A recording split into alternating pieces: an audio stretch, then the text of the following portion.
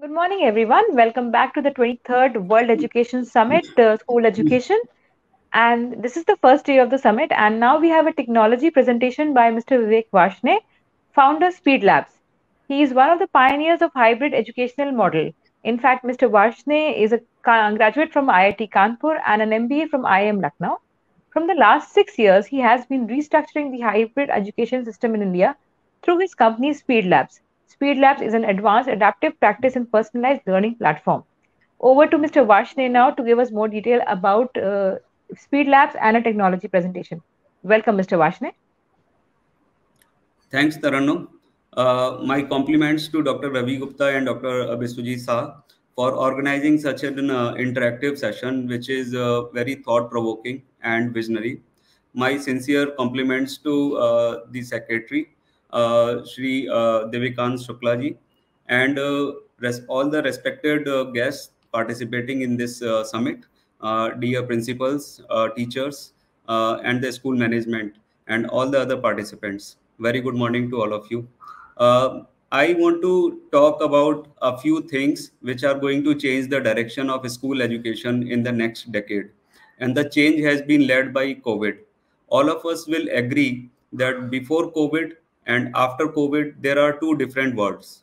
Before COVID, the things that were very happy, very, very much acceptable are going to be very much out of the system after COVID.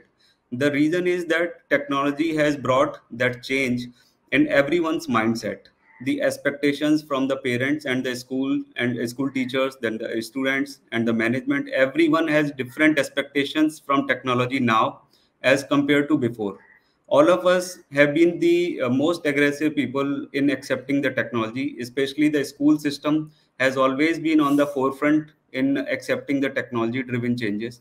We started with the first uh, the entire school system in the country started the adoption long back in 2000 uh, you know starting 2000 when we started smart classrooms using projectors in the classrooms uh, using the lms uh, and the other parent communication systems etc but uh, now after 20 years the expectations from the technology innovation is very different.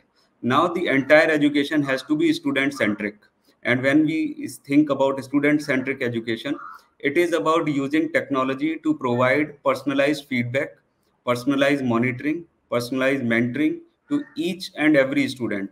Now, uh, you know, as our country is growing, the parents also have a lot of awareness about the power of technology.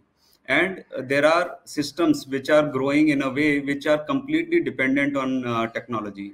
And it will not be surprising that in next five years we will have many uh, pure online schools with collaboration uh, with the local schools. So they will have a 50 60% component online and 40 50% component offline. And it will be a hybrid schooling system that will be an accepted norm.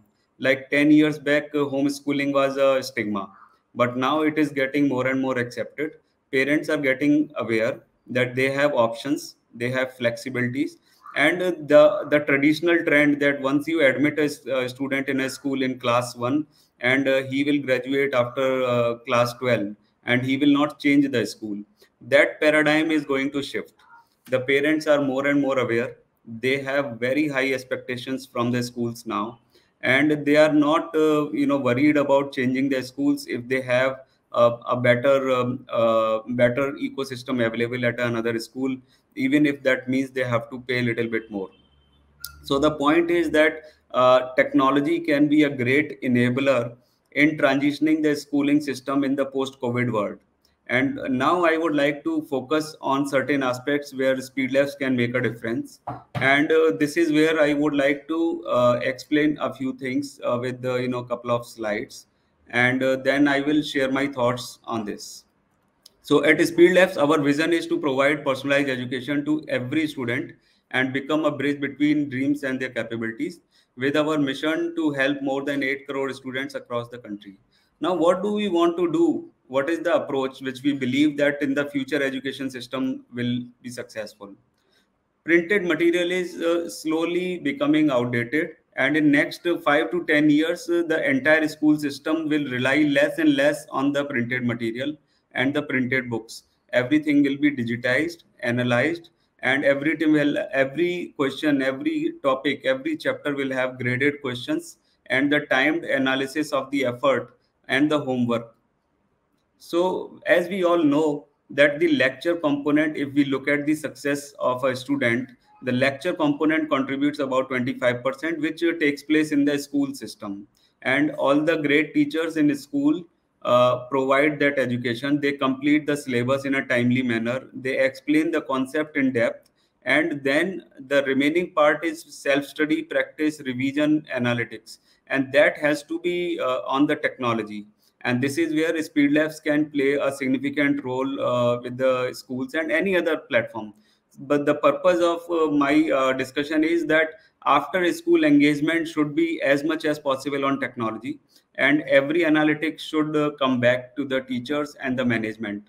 So the approach that we think is going to be the future of school education is the interactive classes in the school environment physical classroom interactive learning uh, high engagement class participation and technology enabled learning where we can use the projectors or the smart classrooms also. But after that there should be a practice platform uh, instead of a, a, fixed homework. Every student should get a homework which is customized. So in addition to some fixed questions the school can also give adaptive practice or personalized practice to every student and that is the right quality education. That is the student centric education. And every student get analytics based on their practice. And these analytics are real time. So after their effort immediately the teachers as well as the students get to know what they have done good what they have not done good where they need to improve what should they revise what is their attempt and accuracy analysis on every subject every chapter every topic every formula and what are the gaps and according to the gaps the technology can provide the personalized improvement plan for every student. Even at a section level the principals can see which section is lacking on which chapter which topic and so that they can be a very customized plan uh, in the futuristic schools. Uh, and these are the things which will be expected by the parents in the coming future. So we think that the next generation schools should have these four components first is the interactive uh, classrooms in the school physical classrooms and followed by three pronged strategy on the technology platforms such as uh, speed labs so this is what i just wanted to share on the um, on the presentation side. But coming back to my original theme uh, the futuristic schools will have a lot of power in the hands of uh, school management and principals and a lot of power in the hands of school teachers and if we are able to leverage the technology power in the most effective way then we can provide significantly better uh, education as compared to pre-covid world. And uh, you know we have heard many uh, systems coming in india which are uh, empowering the schools at a student centric education. So let me take one very simple example. If a parent comes uh, for a parent teacher meeting and if our school teachers are able to give them a feedback such as this that your child is not studying physics uh, in a in last two weeks okay? Or your child has not studied enough on this particular two chapters. Or your child is going very fast in this chapter. Or your child is making errors related to writing uh, units. Or uh, he is not labeling the diagrams properly. Now these kind of pinpointed feedback when you give to the parents what it uh, reflects in a huge respect for the school. And the schooling system with the technology will be able to do this. In fact they will also be able to do some extra efforts on identified students on identified topics on identified uh, chapters etc so that the overall result uh, that a school can deliver can be multiplied better. And as we as we all agree that ultimately in education everyone expects an outcome. That outcome is in the uh, in the form of learning outcome. And there are two aspects. One is qualitative aspects which is grooming personality development confidence of the uh, students and their value system uh, their social aspects, their ability to interact with other students, collaborations, teamwork, uh, etc., mutual respects, work ethics, etc. But there is a very significantly important quantitative aspect.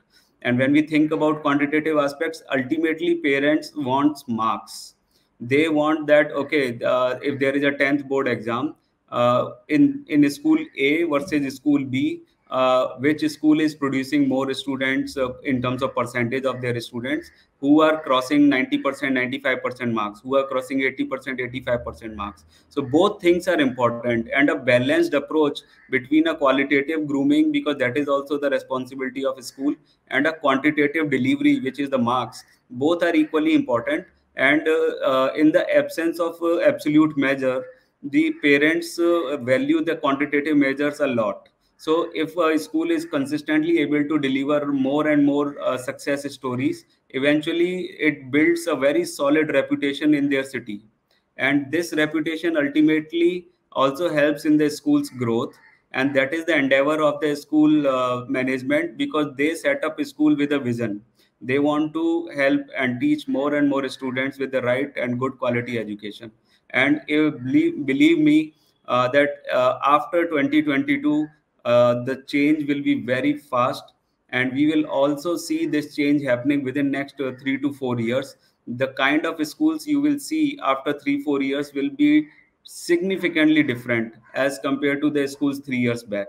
And the change is going to happen at such a fast pace that the decision making at the school management level will play an important role.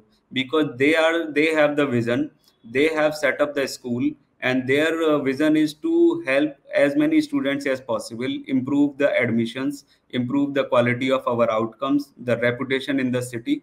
And this will be a collective effort of the teachers and the utilization of technology. So the there will be a blended learnings. The hybrid approach is going to be the final approach in the at least next 10 to 15 years. And uh, until you know till then the technology will be a supporting role and the teachers and the principals who use the technology you know 24 by 7 will generate significantly different and uh, steep trajectory in their schools growth both in numbers as well as reputation. And eventually we also believe uh, at speed labs that parents are not shying uh, for paying uh, you know higher fees if they believe that the, their child is getting the right education. Because it, in india still uh, the majority is middle class and the lower middle class and the aspiring class. And for them uh, their child to do well in life education is the only medium that can take their child to the next level.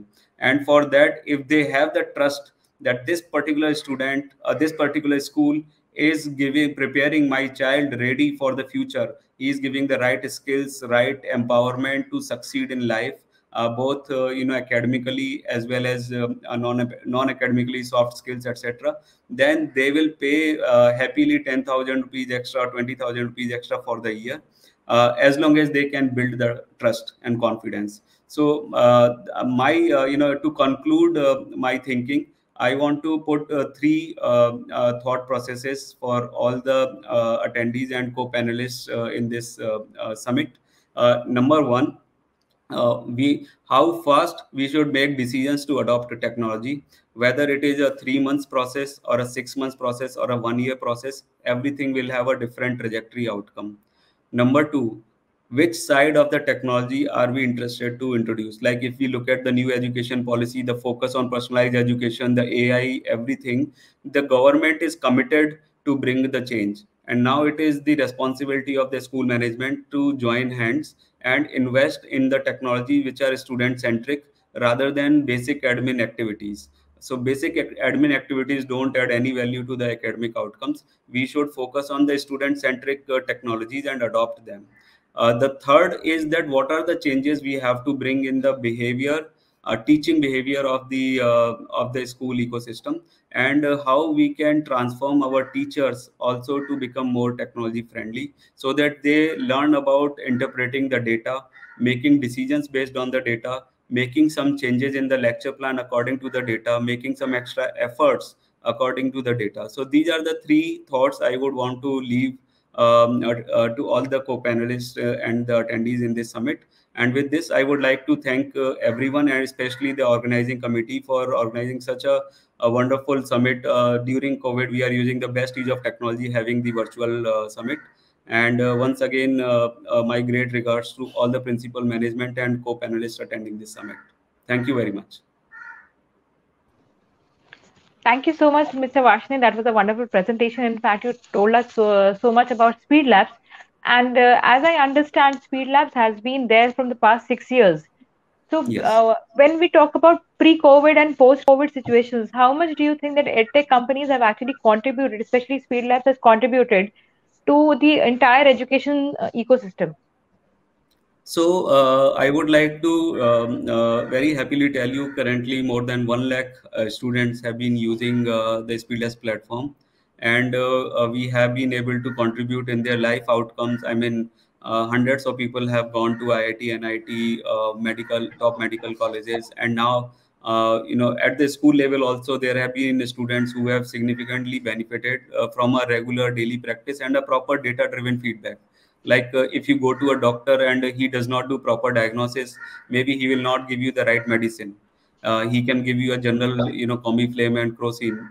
But uh, if he gets the right diagnosis he will give you the right medicine which will treat you faster and which will treat you better. So the whole idea is that we are living in a world which is technology and data driven and uh, it is important that we respect the individuality of every student and that uh, respect can be reflected if we use the right data and give him the right guidance. So i think the whole purpose is uh, that uh, you know uh, in our times uh, you know nobody knew uh, beyond the toppers uh, the what other students are doing or not doing right? The focus was always on toppers.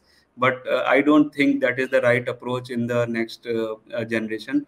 Next generation is uh, very much aware. They want attention. They want proper guidance. They want proper feedback. And without technology it is impossible. Perfectly fine. In fact, uh, one more thing I just wanted to know that you, since you're talking about, you know, preparation of competitive exams like JEE and IIT and other, other exams, how far uh, technology can actually help, like technology like Speed Labs can actually help students in rural areas? yeah so no so see the, the product is internet based.